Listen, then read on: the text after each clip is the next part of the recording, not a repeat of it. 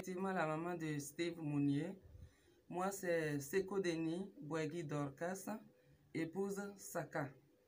Donc, si je suis là ce soir, c'est pour un petit don de la part de Steve Mounier pour les préparatifs de la fête des 20 ans de Dema Radio.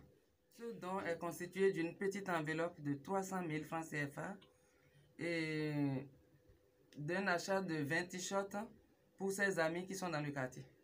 Il adore la culture. Dès que je lui ai dit, écoute mon fils, il y a Dema Radio qui prépare ses 20 ans. Euh, Qu'est-ce que tu en penses Il va falloir qu'on fasse un petit geste.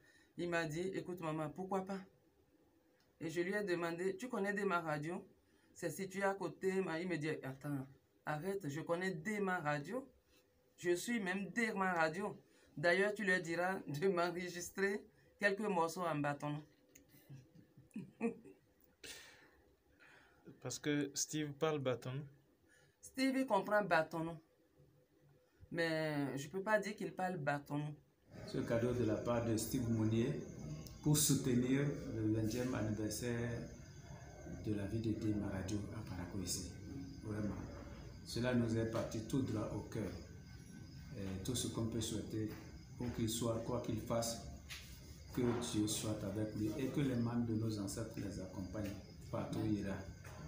Que Dieu bénisse cet acte. Que Dieu l'encourage, que Dieu couronne cette activité de succès. Que tout ce qui est blocage à son niveau à partir d'aujourd'hui soit nul et de nul effet.